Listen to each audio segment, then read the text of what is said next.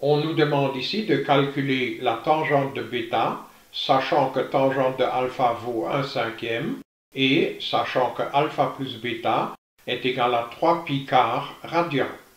Grâce à ces données-là, nous pouvons calculer la tangente de alpha plus bêta de deux façons différentes. D'abord, puisque alpha plus bêta vaut 3 pi quart, c'est que tangente de alpha plus bêta est égale à la tangente de 3 pi quart, c'est-à-dire moins 1, comme ceci. Ensuite, on peut aussi calculer tangente de alpha plus bêta par la formule d'addition correspondante, et là-dedans, on peut remplacer tangente de alpha là et là par un cinquième, puisque c'est donné dans les hypothèses.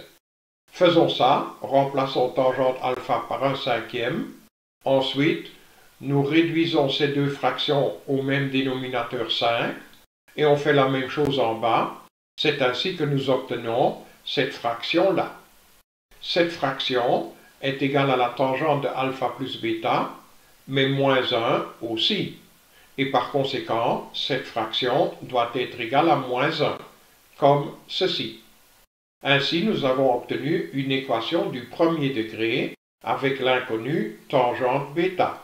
C'est justement ce que nous cherchons. Donc, résolvons cette équation-là.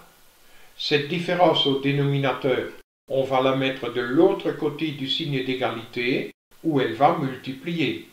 Et alors ce moins 1 sera distribué sur cette différence, ce qui nous donne ceci. Là, on a 5 tangentes bêta, moins tangente bêta, ça fait 4 tangentes bêta, et à droite, nous avons moins 5, moins 1, c'est-à-dire moins 6.